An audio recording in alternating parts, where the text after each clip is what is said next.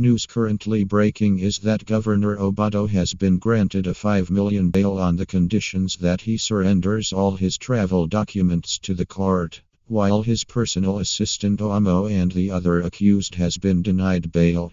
This comes after Sharon was buried on the weekend.